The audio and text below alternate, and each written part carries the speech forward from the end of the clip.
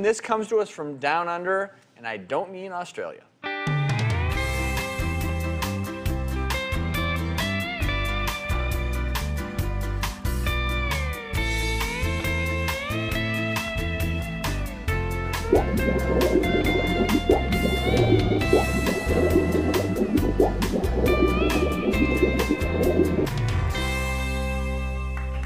Where's my pina colada?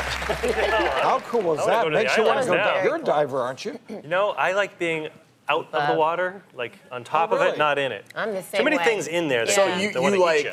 snorkeling?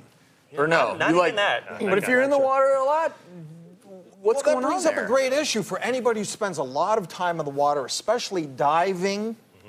and scuba diving type of thing. Two things are going on. You have pressure that's pushing water inside into your nose, and in turn, pushing the water into your sinuses. Frontal sinus here, sphenoid sinus here. What happens is the combination of the water, the pressure, that water can get stuck in there. That sets you up for sinusitis. And what comes along with that?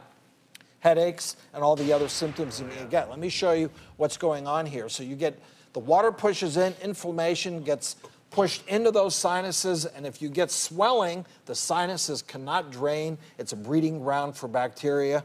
You end up with a sinusitis. So, a couple things. If you're prone to that, Jim. Maybe just go surfing on one of these things here. Yep, Jim, you're going to help me. Nose plugs if you're prone to, to getting a lot of water and, and sinus headaches, and it may help your snoring too, Jim. Yeah, right. Let's do this.